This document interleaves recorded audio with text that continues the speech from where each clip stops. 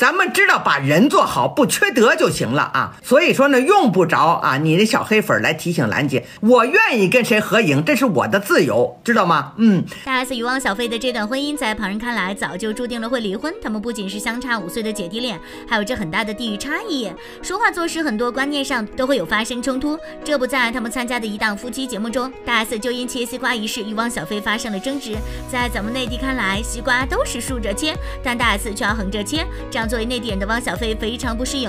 为了迁就大 S，汪小菲还是按照大 S 的习惯完成了切西瓜这个工作。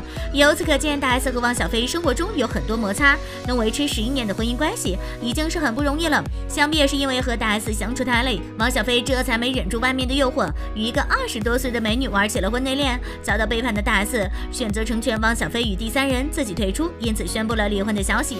果然，离婚后的汪小菲被频频扒出与新女友的更多恋爱细节。据悉，女方是一个很有钱的姑娘，家住朝阳区。期间在汪小菲妈妈直播时，就网友向她证实，不料张兰一听就急眼，还失去理智大骂网友。看来汪小菲有新女友的事情并不是真实的。那么看完你怎么看呢？欢迎留言评论。